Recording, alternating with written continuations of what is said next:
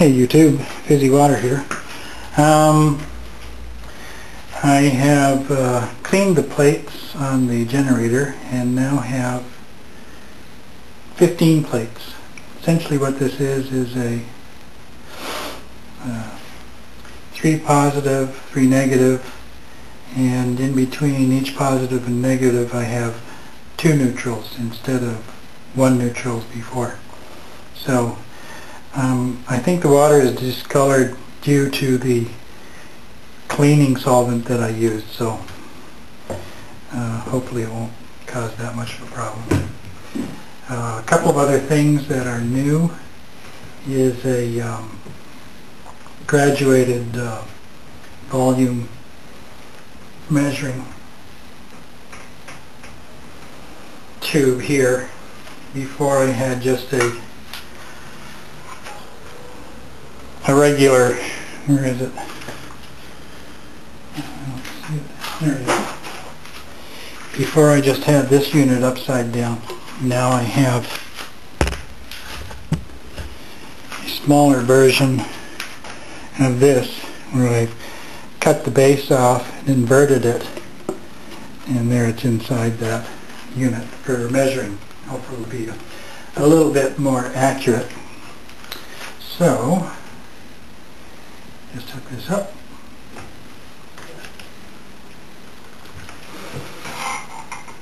Positive and negative. And then the probes.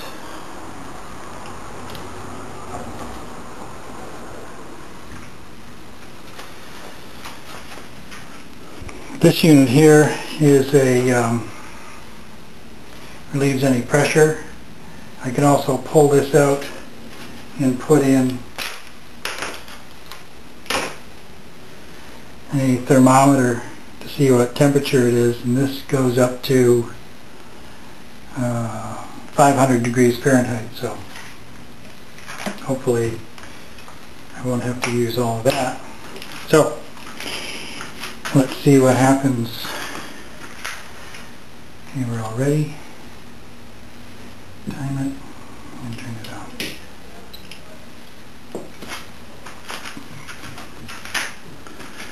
Here we got bubbles.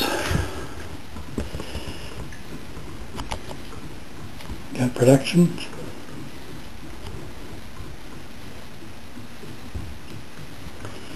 And we've got some movement.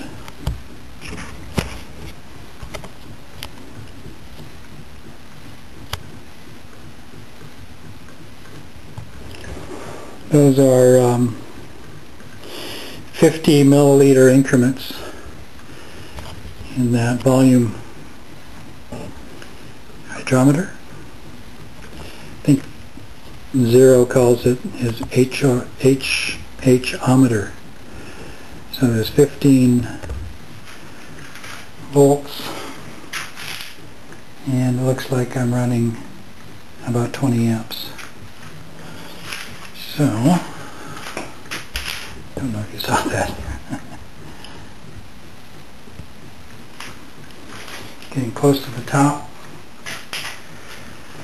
So we're at uh, a little over 400, getting 450.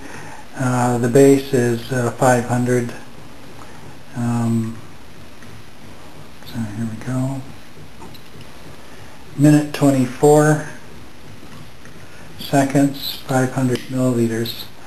There's also about 100 milliliters inside the tube but since it's already there when I measure I'm using 500 uh, milliliters so um, this little doohickey relieves the air which is helpful.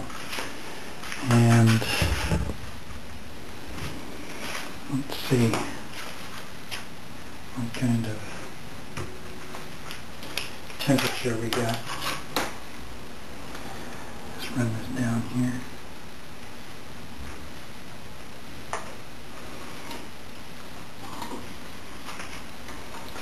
see if I can show you temperature. Excuse my head. Okay.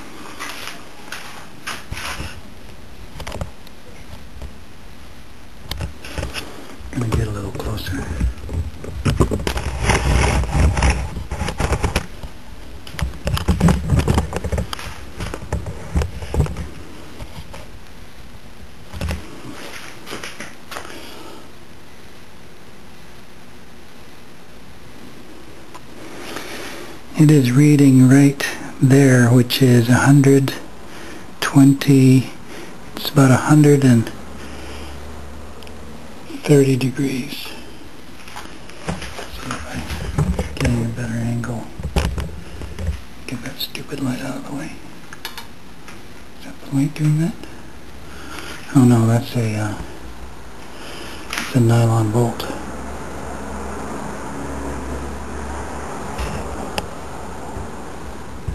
So it is about 130 degrees. So the next step is to take those plates and cover the edges with this uh, stuff brush on electrical tape and uh, you an example where I did coat the edge of this unit. And it did coat it fairly well so it looks like it's completely coated.